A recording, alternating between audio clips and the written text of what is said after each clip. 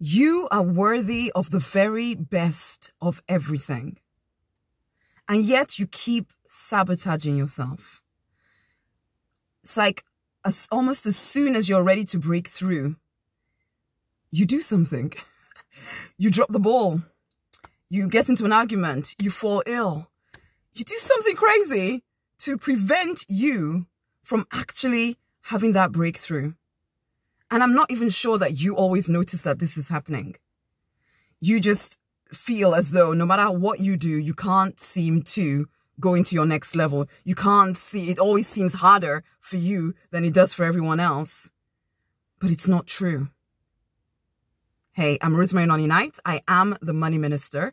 I support action oriented spiritual people to thrive, to prosper, to make at least six figures whilst living their life's purpose, whilst living in their true design. I believe we all get to live free fulfilled, financially abundant, love drenched lives if we are willing to claim it. If we are willing to identify when we are getting in our own way, not just say, oh yeah, I know I'm the one that is in my own way. People say that all the time, but I'm not, I ask people when I'm speaking with them, do you actually know exactly what that means? Do you actually know exactly how you're getting in your own way? Do you know the thoughts that are continually going through your mind? Or are you so used to thinking the same way that you haven't questioned it in so long and yet you're reacting from that wrong foundation, that foundation of whatever someone said about you, whoever knows when. And you're still living from that foundation where maybe someone said to you, you can't accomplish this, or this is too hard for, for you. And so you believed it. And now, even though you could have whatever it is that you desire, there's a voice inside of you that says, that's too much. That I can't have that. And so you sabotage it. You do something silly to stop you from doing it. But again, do you notice that this is happening to you?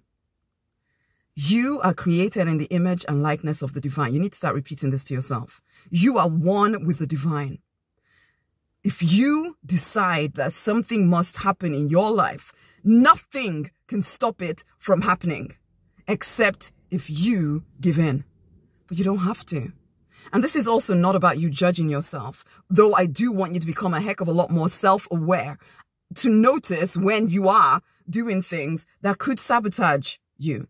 Now, you may not notice this. This is why you want support. This is why you want to be in an environment that helps you question some of the beliefs that you've carried forever. For instance, I had beliefs around my relationship with the divine or even just me as, as a worm you know, because uh, I was brought up Christian, and sometimes some versions of Christianity can teach you that you are so little, you are so small, and the divine is so big, and you know, he's he's, he's blessing you by by even daring to look at you, or even you know, the, the fact that he deigns to look at you because you are just so unworthy that he looks at you is something that you should be so grateful for which can leave you with this sense of, I'm not good enough. I'm not worthy of, of love and affection. And that was me growing up.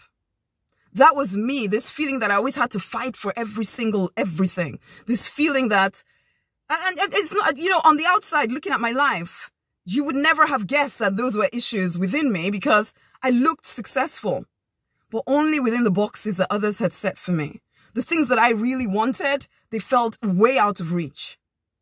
Everybody else would say to me, Rosemary, everything you turn, you touch turns to gold. It did not feel that way to me. And it always felt like I was hitting a ceiling and I could never seem to break my way past it.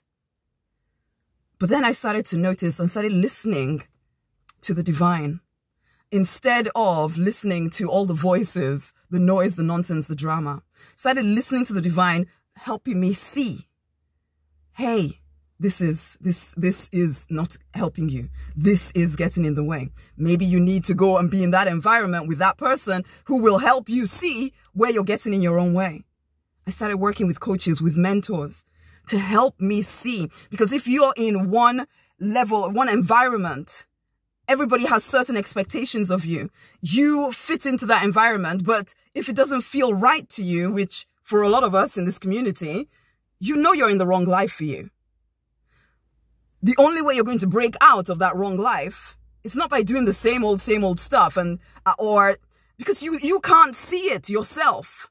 it's getting yourself into a new environment where you're taught new things, where your, your, your, your beliefs are questioned, where what seemed so out there to you in your old environment now is like normal. And then suddenly you find yourself, it's like, it's like someone who is unfit getting a group of fit friends. It's almost, it's almost, they don't even notice when suddenly they're becoming fitter. Suddenly they want to take more walks. Suddenly they want to be at the gym more. Why? Because their friends are doing these things. They're eating better. Because their friends are doing these things. They put themselves in a new environment. So you, if you want to stop feeling unworthy of the best of everything, if you want to start accepting the desires that you have in your heart as absolutely possible for you, put yourself in a new environment where it is normal to demand more from life and expect to receive it. Come into evolution. It's an environment I'm creating for action oriented spiritual people like you. You know you want more. Listen, honey, I know you are worthy of more. But I know that the level of thinking you're at right now will not allow you to step into your more. And it doesn't matter what, what level of um, abundance you're experiencing right now, you know there's more for you. Come into evolution. There's a link around this video. It's rosemarynonnyknight.com forward slash evolution. It's $7 a month. Come into evolution. It's time for you to start reprogramming your mind for a greater level of success. It's time much amazing love. I look forward to working with you to shift any sense of unworthiness, to step into the knowing that you are created in the image and likeness of the divine for real. What does that actually mean? For you to step up in power and start living in your true design. It's time to leave behind the pain, the limiting beliefs of the past and rise victorious in your true design life. Come on in to evolution. See the link around this video. Much amazing love. Share this with someone else. Much love.